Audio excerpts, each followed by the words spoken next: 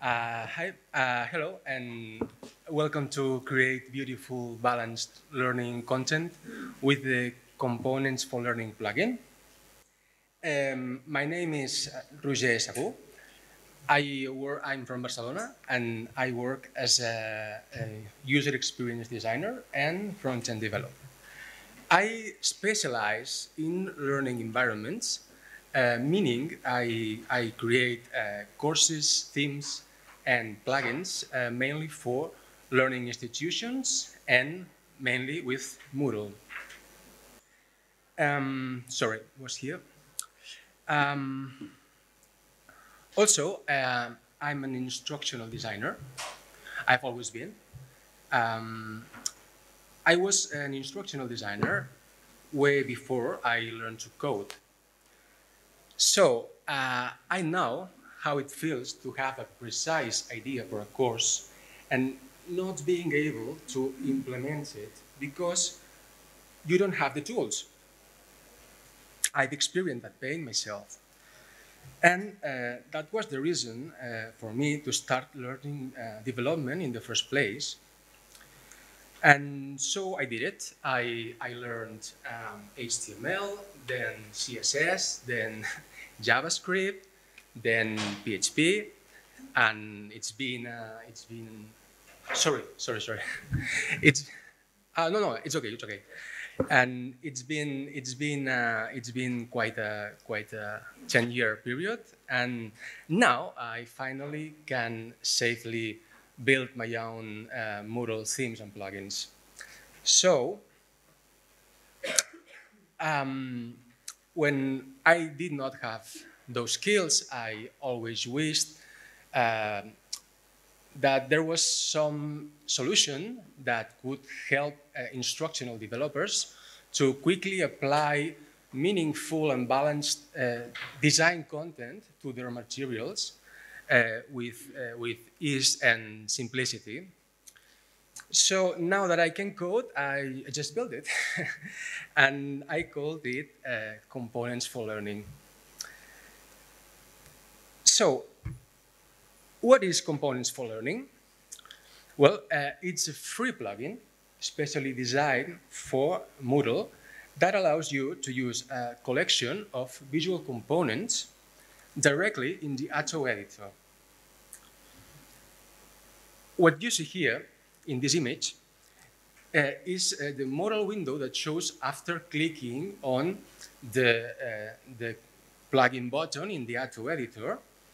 And well, for, for those uh, at the end of the, of the room, I'll take a moment to read them aloud. Those are the key concept, the tip, the reminder, attention, quote, do and don't cards, uh, reading context, example, figure, tag, estimated time, due date, procedural context, grading value, expected feedback, all-purpose card, and inline tag.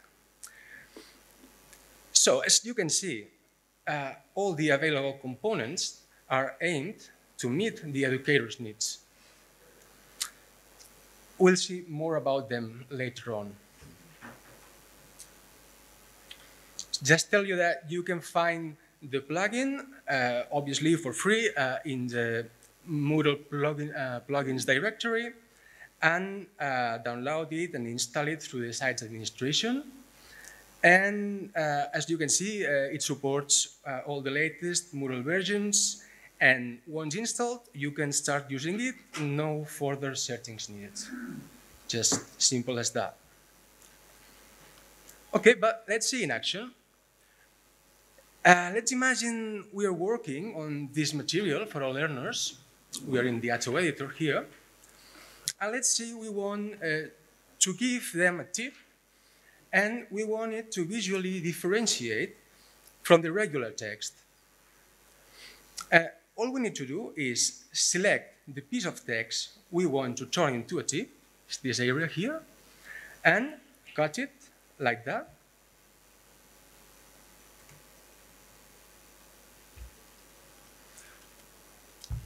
Okay, then um, we click on the Components for Learning button, we choose the tip component, and we replace the placeholder text with the text we just got. Okay, so um, when we save, um,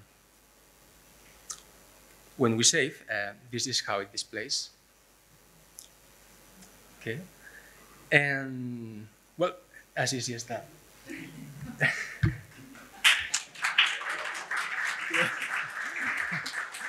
Thank you.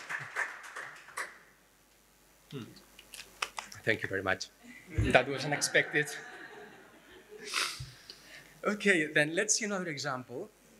In this case, um, let's imagine we want to add a quote to, to reinforce a, a particular idea.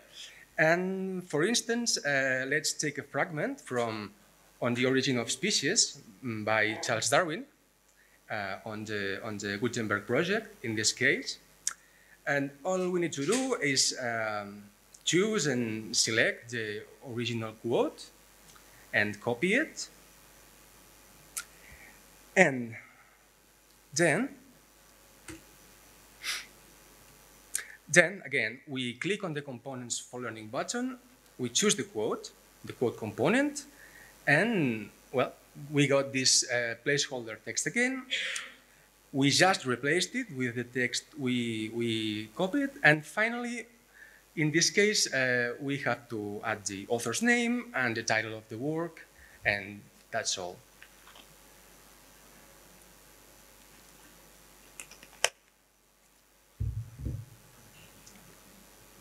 So, and then, like just like before, when we save, we, we have this format uh, already applied. Okay. Um, our goal here, sorry, our goal here is to provide our learners with a cohesive design for every type of content. Uh, the main principle is simple and connects with the fundamentals of design. We always use the same visual components for the same type of content.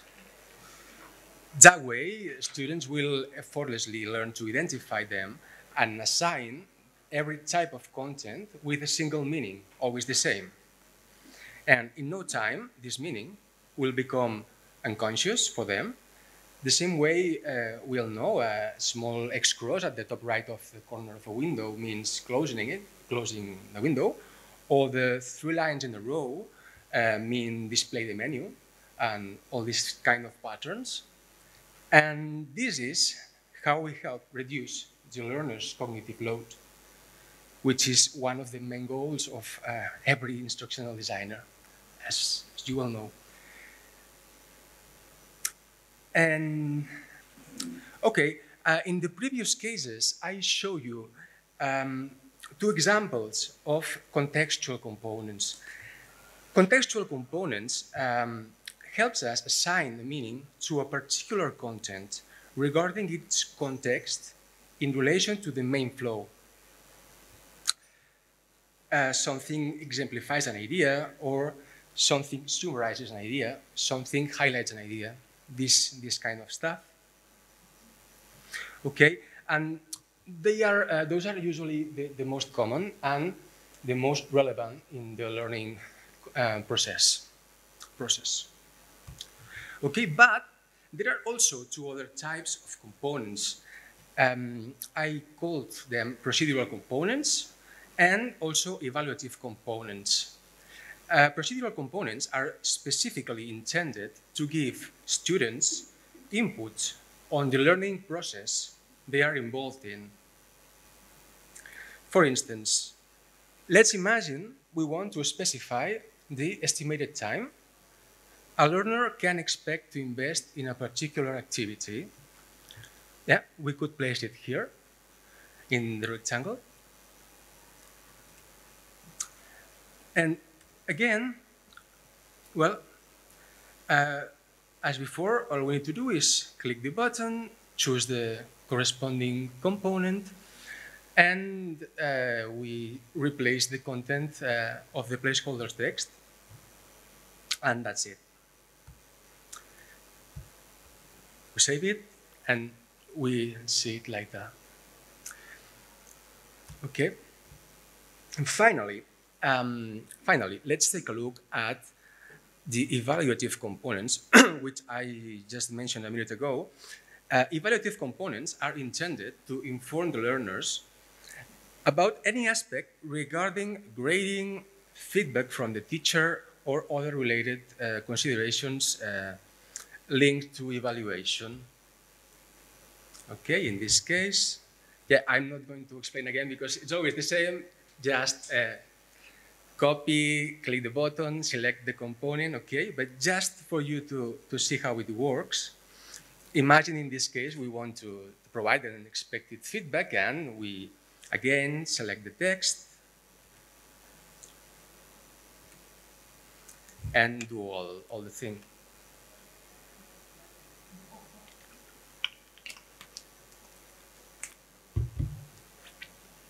Okay, here we select the corresponding component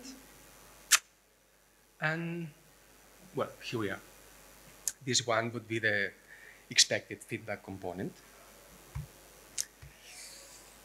So this is how we see it. Okay, um, at this point of the presentation, it would be relevant to introduce you to the project's site. Uh, it took me a long time to get it ready, uh, but finally, finally got it published last week, just in time.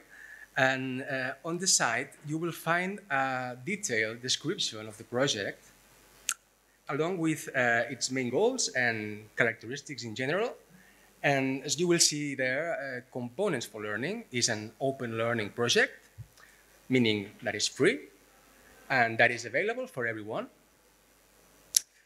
The plugin itself is licensed GPL, as the rest of the Moodle core software, and all the contents on the site are freely available under, under uh, Creative Commons license. Also, on the site, uh, you can find a guide that uh, will help you browse uh, through all available components and choose the most suited for every situation. Let's see an example, a quick, a quick example, and I'll finish. Um, let's say we wanted to use the key concept in, in a material, okay, but however, uh, we may not be entirely sure that this is the component we really need for that particular case. Uh, so we go and visit the guide, and this is what we find. And as you can see, uh, in this case, our assumption was correct, as uh, highlighting an idea is in fact the purpose of the key component concept, uh, sorry, the key concept component. And uh, we also see there a demo mm, just before on how it will display once applied. Um, most components uh, may have slightly different purposes. So uh, this, this uh, is important and I guess the guide will have you covered in, in all this matter. Also, another interesting feature in the guide is the provision of uh, recommended and discouraged uh, use cases for you um, um, for most of the components. And, and I must say, uh, it's uh, really interesting because those are based in uh, real user testing, uh, mostly by teachers at uh, Instituto Obert de Catalunya, uh, who have committed to, to this, thank you, thank you very much, who have committed to this project and are using a very similar extended collection of those components.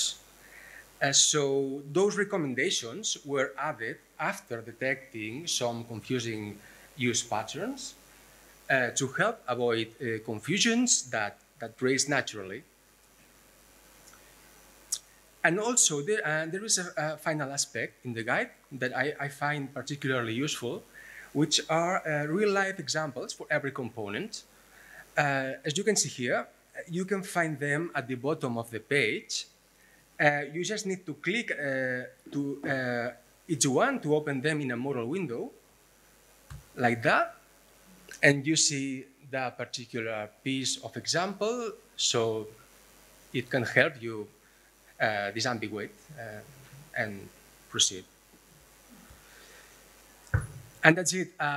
Well, um, finally, um, just let you know that this project has just started, and I'm very, very interested in your input as educators. Um, I'd love to know what components you miss and what kind, um, and I mean, uh, any kind of, of involvement uh, would be more than appreciated. Uh, because this is a, living project, you know, it's just started now. And if you wish to get involved in the project in any way, um, you will find my contact uh, in the site. It's um, roger at um, componentsforlearning.org. And if uh, you install the plugin, uh, I encourage you to follow the Twitter account at Com4Learning um, to get updates on new components available or tutorials, and also to get in contact and, and make suggestions. Also, again, I would uh, like to thank uh, all the teachers at IOC uh, who helped me during uh, the last years, and without them, that would have would have haven't been possible. And also, I would like to especially thank uh, to Justin Hunt, um, which uh, plugin snip, Poodle snippet was uh, was used uh, uh, in this case to to to make to, to make the, the base code for this uh, this plugin. So this is also me, my professional site and my Twitter account. Thank you very much. Um, okay.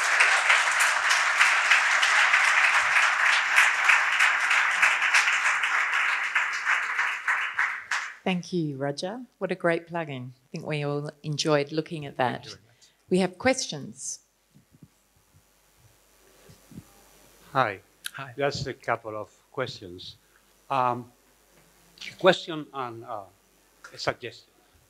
Uh, the question, uh, the uh, the styles, the colors, and the uh, does uh, uh, are they visible on the mobile application or the uh, In the mobile, the No. the Moodle uh, the Moodle app?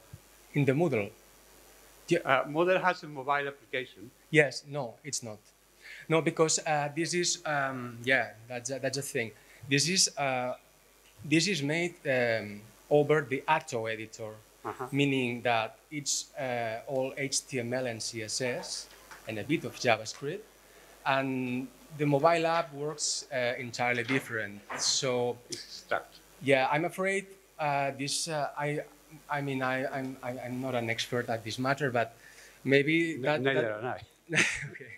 Maybe, maybe that would be a, a custom integration that you may uh, need to ask to the providers, the, the Moodle app providers. But no, this, sorry, this is uh, uh, what it has is um, all the styles are also um, usable. It's, it, I mean, it's responsive. It's completely re- mm, responsive. If you use Moodle in a, in a mobile, it will display correctly. Okay. But Uh, not the the app, just, the- just in the browser. In the browser. Okay. Yeah.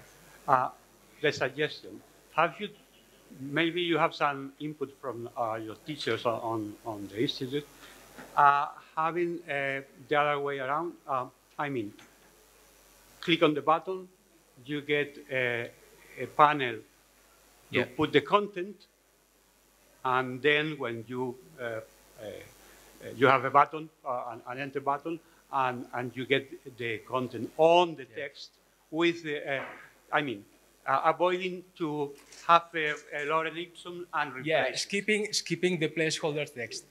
Yeah, I guess I tried it. I must confess, but I, I mean, that would uh, require another uh, level of development skills, which I, I don't have, uh, because uh, most of these of these uh, kind of features. Uh, needs to be embedded in the tool itself. In this case, it's Atto. And I'm not sure it's that easy. It would require further mm, custom development also.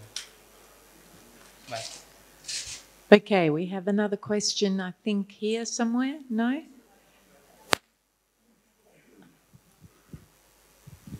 Congratulations, Roger. thank you. Uh, in my case, I've been doing all my own CSS style sometimes for some activities, but never a plugin. And the only question maybe is for people from university, have you give to them the patterns of the of the tools you are using, so in their own presentations, not in Moodle, they use the same styles? Do you know that? Well, um, yeah. Uh, so, well, it's a bit more complicated, but in some way, yes, because uh, there was a design system prior to the implementation of the plugin, and uh, you could take the design system and use it uh, in any context you you like, but uh, it's not done or not already done or it has not been needed to, to do mm, until now. So um, it's done, but it's not implemented. Okay, thank you. Hi, thanks, Roger. That looks really useful. Um, Thank you. so when you're adding templates, I presume it, it is adding CSS and HTML. And is there any way that that's protected? Because using templates in the past, I've found that people can easily delete like a bracket or something and it completely messes things up and they don't know how to fix it. Is there any sort of protection around the CSS and HTML or can it just be deleted? Well, um, yeah, uh, mm, kind of, because um, yeah, uh, the last version I did, well, the published uh, official version, what I did is um, use uh, when when you uh, if if you look at the CSS that lies behind it, uh, you will see that there are uh, some there every component is preceded and and there's also after after it a paragraph with a special class that makes it uh, difficult for the user to get messed with the process. I mean, when you uh, press enter, there uh, a new paragraph appears. So I kind of hacked the way Atto solved this matter and used this. Uh, I mean, well, it's it's a very simple and not high-tech solution, but uh, it's proven useful. Yeah, sounds good. Okay, there was a question, yes, up here. Thank you. Hi, and thanks for the presentation. Thank the you. plugin is very interesting. Uh, I want to know, uh, you say that it works with Atto, but I have a lot of uh, users that use TinyMCE also. And uh, I think, I don't know if you try to also add uh, the button for the TinyMCE editor or not, uh, uh, if you think to do in the next future or, or no. Uh, Thanks. y- uh, yeah, well, I, I guess uh, uh, it will be mandatory, kind of mandatory. Uh, so I, I will, I will make the changes uh, to adapt it also to to um, TinyMCE. Uh, because um, well, I, I, I don't know uh, how it will work, but I will try to um, to make it um, the most similar possible. And if I understood correctly, I think mm, 4.1 version will uh, still have Atto included, but I guess 4.2 is, um, closes Atto, and so it it will it will I, I will I will have to attend these changes, and and I, I expect very soon that will be done. Thanks. Are there, yes, another question over here. Sorry. Thank you very much for the talk. It looks Thank really you. nice. Um, one question I had um, as a student, if I see these components, is there any possibility for like contextual information or tooltips to see what that means so I can get to learn it, what it means? Or are there plans to implement, like if you hover over the icons to see this should be a quote or something? Uh, uh, I recommend you to start with the guide. You know, in the in the site of the project, you will find the, the guide, and and it includes a detailed explanation of, of every case. And also, I, I am planning to release uh, as soon as I can a series of video tutorials mm, explaining each of them briefly to avoid users have to to mingle with all the technicities. But I don't know again how it will be possible to get done. Okay, thank you. Thank you. Mm, Yes, hello. Thank you for the wonderful presentation. Um, do you work with Bootstrap or are you planning to work with Bootstrap and do you add more elements from it? Sorry, Bootstrap or the second part? Uh, do you want to add more elements from the Bootstrap uh, framework? Uh, yeah, that's interesting because uh, I've already done it, and thanks to this this man here, David. Uh, yeah, because the situation when I started uh, doing these components was that the the the IOC, the Institut Obert de Catalunya, already um, was working with Bootstrap, so I added some components, which what I did uh, was a bridge between Bootstrap and, and this, uh, this more simple uh, version.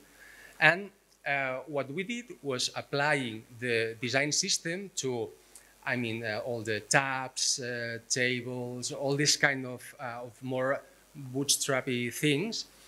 And, and I think it was quite, it worked well. And um, obviously, uh, all this will work over Bootstrap because it's made to work on, on, on Moodle 3.3 dot uh, whatever, and it will be no problem with that. Thanks. And we have a question here from Martin. Just a very quick one. Another congratulations. It's it's really nice. Thank you very Um, much. Do you, on your website do you have uh, an example of an entire course that you've built where we can see your entire vision all together with everything applied? Okay, I'm also uh, working in it. Yeah, I, I, I'll, try to do that. Um, it's a shame that I, I, I don't have time to, to, um, to browse the, the well um, more thoroughly.